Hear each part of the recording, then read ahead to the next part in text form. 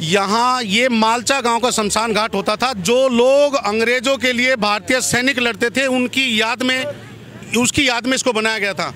ना कि देश की सेना की लिए इसको।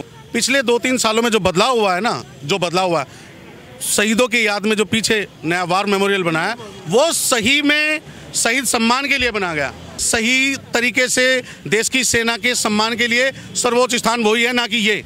मैं इसके फैसले को सलाम करता हूँ और दिल की गहराई से स्वागत करता हूँ। पाँच राज्यों के स्टार चुनाव प्रचारक में राहुल गांधी का अपने ही पार्टी के साथ नाम नहीं है। वो इस पर क्या राजनीति करेंगे? विपक्ष के पास कोई मुद्दा नहीं है। कोई मुद्दा, कोई कर्म, कोई परिस्थिति उनके साथ आज नहीं है। आज वो बेवकूफ़ी भरे क्वेश्चन दागे जा रहे हैं, जिनका कोई अर्थ नहीं है आज के मायने में। लेकिन सच यही है, ये लोग केवल और केवल गुमराह करते हैं, गुमराह करने की राजनीति करते हैं, झूठी राजनीति करते हैं, देश विरोधी राजनीति करते हैं। नमस्कार, मैं हूँ अवस्थी और आप देख रहे हो न्यूज़ हिंदी। इंडिया गेट पर आप देख रहे होंगे कि लगातार जब से ये फैसला लिया गया, भारत सरकार के द्वारा कि यहाँ की जो अमर जवान ज्योति है, उसको इंडियन वॉर मेमोरियल की जो ज्योति जल रही है, उसके साथ शिफ्ट किया जाएगा। विपक्ष की राजनीति जो है, वो शुरू हो चुकी है। इस पर बात करने के लिए यहाँ पे जो आम नागरिक जो लोग यहाँ पर पहुँच रहे हैं उनसे जानते हैं कि उनका मूड क्या है क्या चिंता जो है वो क्या रहा है और क्या विपक्ष में जो चीज़ें बोल रहे हैं उस पर विश्वास रखती है जो सरकार का फैसला लिया उसके साथ है। सर एक बार नाम सबसे पहले मेरा नाम संजीव लाकड़ा है। संजीव लाकड़ा जी। कौन सी जगह से आता है आप? मैं देश की राजधानी का ही नागरिक हूँ लेकिन बेसिकली मैं बागपत उत्तर प्रदेश से देश के सबसे बड़े राज्य के पहले चरण में जहाँ चुनाव हो रहा बागपत से बिलोंग करता हूँ। तो उत्तर प्रदेश में चुनाव है उस धरती से आप आते हैं और दिल्ली में राजधानी में इंडिया गेट के सामने आप खड़े हैं। भारतीय जनता पार्टी और भारत सरकार के द्वारा ये जो फैसला किया गया है आज कितना सबसे पहले इस फैसले को सही मानते हैं? देखो मैं देश के प्रधानमंत्री के इस फैसले का दिल की गहराइयों से स्वागत करता हूँ। एक आम नागरिक होने के नाते यहाँ ये मालचा गाँव का शमशान घाट होता था, जो लोग अंग्रेज़ों के लिए भारतीय सैनिक लड़ते थे, उनकी याद में, उसकी याद में इसको बनाया गया था। ना कि देश की सेना की लिए इसको। लेकिन तत्काल उस समय की कांग्रेस सरकारें या जो भी सरकारें रही, उन लोगों ने गुमराह किया है, आम लोगों को।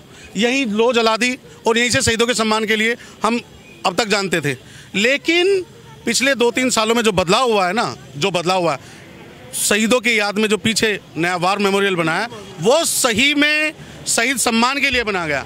मैं या हम सभी ने देखा है वहाँ हर सैनिक की शहीद सैनिक के हर एक ईट पे एक शहीद का नाम लिखा हुआ है और हर एक रोज शहीदों के परिवार को बुला के पुष्प गुच्छ अर्पित किया जाता है। सही तरीके से देश की सेना के सम्मान के लिए सर्वोच्च स्थान वही है ना कि ये। जो भारत सरकार है, वो यही कह रही है कि ये जो इंडिया गेट का पूरा जो मेमोरियल जो ये इंडिया गेट जो सामने बना हुआ दिखाई देता है, इसकी जो बिल्डिंग है, वो तो फ़र्स्ट वर्ल्ड वॉर में जो लोग शहीद हुए थे, उनकी याद में या बहुत पुराना बना हुआ है, इसको इसका इंडियन के जो लोग शहीद हुए थे, उनसे तो कोई लेना देना नहीं है तो अगर हम इस लोगों को वहाँ शिफ्ट कर रहे हैं तो कांग्रेस को समस्या क्या है? वो ये पूछे। जो पिछली सरकारें रही हैं, ये लोग अंग्रेज़ों के ज़माने से अंग्रेज़ी राजनीति के पैरोकार होने के बाद देश की सत्ता चला रहे हैं। इनका देश के इतिहास से कोई मसला नहीं है, ना इनको मतलब रखता है इन चीज़ों से, क्या परिस्थितियाँ है? जो पहले शहीद हुए थे विश्व युद्ध में, उनके, उनकी याद में ये चीज़ें बनाई गई है। उसके बाद जो सैनिक, जो भारतीय सैनिक अंग्रेज़ों के लिए लड़ाई लड़ते थे, उनके शहीद शहीद को सम्मान देने के लिए अंग्रेज़ों ने अंग्रेज़ों ने ये जगह चुनी। जबकि देश की सेनाओं पे जो हमारे वीर शहीद होते हैं, उनका नाम यहाँ नहीं है, केवल एक गलत संचार और भावना से केवल सलाम करते थे। ज्योति जो यहाँ पे लगाई गई है वो भी उन्नीस के बाद लगाई गई उन्नीस तत्कालीन प्रधानमंत्री श्रीमती इंदिरा गांधी ने 1972 में ये लो लगाई थी यहाँ। उससे पहले का यहाँ कुछ नहीं था। मतलब ये इसका उचित स्थान ये नहीं है ये उचित स्थानीय आज सैनिक के सही सम्मान के लिए सही जगह स्थानांतरित किया किया गया है। मैं इसके फैसले को सलाम करता हूँ और दिल की गहराई से स्वागत करता हूँ। कांग्रेस से एक बड़े चर्चित लगातार देखते हुए राहुल गांधी जो है उनका एक ट्वीट आया और उन्होंने कहा है कि ये सेना का अपमान है पूरी तरह से जो मोदी सरकार है वो सेना का अपमान कर रही है और हमारी सरकार जैसे ही वापस आएगी फिर से यही लॉ जलाएँगे। क्या कहेंगे आप? देखो गलत फैसला गलत जानकारी गलत संचार। देश की देश के आज़ादी के पिछहत्तरवें अमृत महोत्सव में सही सैनिक सम्मान के लिए आज अमर ज्योति जवान को अंदर वार मेमोरियल में शिफ्ट किया गया। वो बहुत सही कदम है सरकार का। पुलवामा का अटैक जब हुआ था उसके बाद भी राजनीति शुरू हुई थी।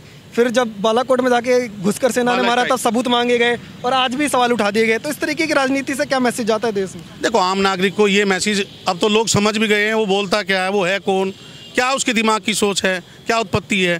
पाँच राज्यों के स्टार चुनाव प्रचारक में राहुल गांधी का अपने ही पार्टी के साथ नाम नहीं है। वो इस पर क्या राजनीति करेंगे? राजनीति करना है उन पाँच राज्यों में के जहाँ चुनाव होने वाले हैं।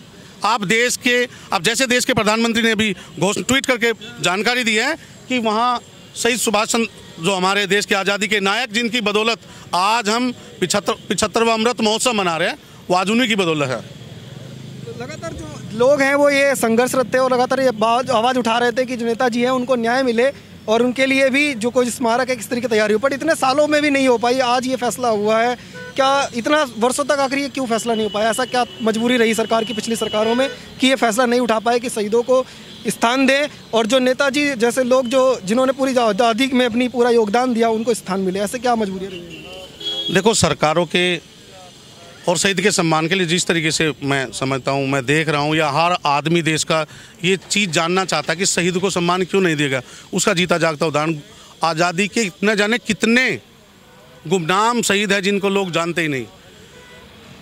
नेताजी सुभाष चंद्र बोस जैसे सूरवीरों की बदौलत आज हम खुली हवा में अभिव्यक्ति की आज़ादी और सांस सब कुछ ले रहे हैं, जो समय प्रतिबंध था। उनके याद में या उनको लेके देश के हर हिस्से में कहीं ना कहीं कुछ ना कुछ नया कर रही है ये सरकार। मैं किसी राजनीतिक पार्टी से हित ताल्लुक नहीं रखता कि मैं भारतीय जनता पार्टी का हूँ या विपक्ष का हूँ। मैं तो एक आम नागरिक हूँ। जहाँ मेरा मत का अधिकार होता है मैं मत डाल देता हूँ। जो मेरे अंदर मत बात चलती है उसको सबके सामने कह देता हूँ।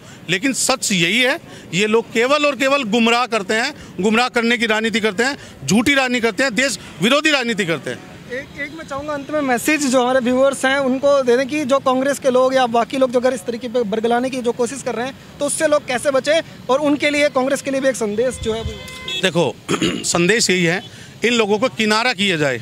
इनके जैसे जब अभी फैसला है इस चीज़ को ज़्यादा से ज़्यादा लाइक करो ताकि देश की राजनीति और सिस्टम को एक नई अवेयरनेस मिले।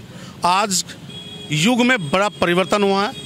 आज वो ज़माना नहीं रहा। इस सोशल मीडिया या मंच के माध्यम से करोड़ों लोगों को संदेश पहुँचना चाहिए कि आज जो फैसला किया गया है वो वाकई स्वागत योग्य है। तो पूरा देश इसके साथ है? पूरा देश हर आदमी इसके साथ है। केवल विपक्ष को छोड़ के। विपक्ष के पास कोई मुद्दा नहीं है। कोई मुद्दा कोई कर्म कोई परिस्थिति उनके साथ आज नहीं है। आज वो बेवकूफ़ी भरे क्वेश्चन दागे जा रहे हैं जिनका कोई अर्थ नहीं है आज के मायने में। लेटेस्ट इन्फॉर्मेशन अभी आ रही है कि थोड़ी देर में हो सकता है कांग्रेस जो है वो यहाँ पर विरोध प्रदर्शन करने और धरना प्रदर्शन करने भी पहुँचने वाली है चाहे अपने वहाँ पे कर ले या फिर इधर इंडिया गेट पर भी। तो क्या विरोध प्रदर्शन से एक गलत मैसेज नहीं जाएगा देखो विरोध प्रदर्शन करने के लिए यहाँ धारा एक सौ चालीस लगी हुई है पहले से। और विरोध प्रदर्शन करने के लिए यहाँ जंतर मंतर जैसी जगह है। अगर आपको अपना विरोध प्रदर्शन करना है तो खूब करें लेकिन उचित जगह पे जाके करें। देश के देखो आज़ादी का अमृत महोत्सव के तीन बच्चे हैं सुरक्षा कारणों से यहाँ आदमी नहीं आ सकता। लेकिन अगर वो करेंगे उससे भी बड़ी बड़ी बेकूफ़ी होगी। ओके जी। तो लगातार हम इनसे बात करने की कोशिश कर रहे थे। इनका कहना साफ़ है कि जो सरकार ने, भारत सरकार ने ऐतिहासिक फैसला लिया है, इसको पूरे देश में सम्मान मिलेगा और जो अगर विपक्ष कोई किसी भी तरह से गुमराह करने की कोशिश कर रहा है, उससे ज़्यादा कुछ फ़र्क पड़ेगा नहीं। जनता जो समझदार है, आप देखते रहिए ओ न्यूज़ हिंदी धन्यवाद। जय हिंद।